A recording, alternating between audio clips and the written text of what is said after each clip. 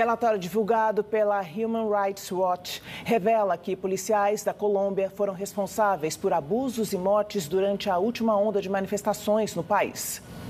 A delegação se reuniu com 150 pessoas em 25 cidades da Colômbia, entre manifestantes, organizações sociais e autoridades públicas.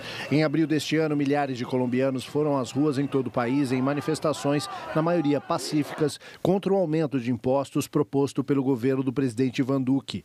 Como resultado das investigações, a Human Rights Watch obteve evidências de que desde o dia 28 de abril a polícia matou pelo menos 16 pessoas com munição letal.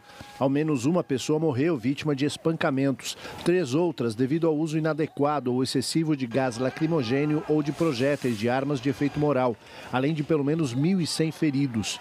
A entidade afirma que o governo da Colômbia deve tomar medidas urgentes para proteger os direitos humanos e iniciar uma ampla reforma policial, visando garantir que os oficiais respeitem o direito de reunião pacífica. Também deve levar os responsáveis pelos abusos à justiça e estabelecer limites claros entre a atuação da polícia e das Forças Armadas.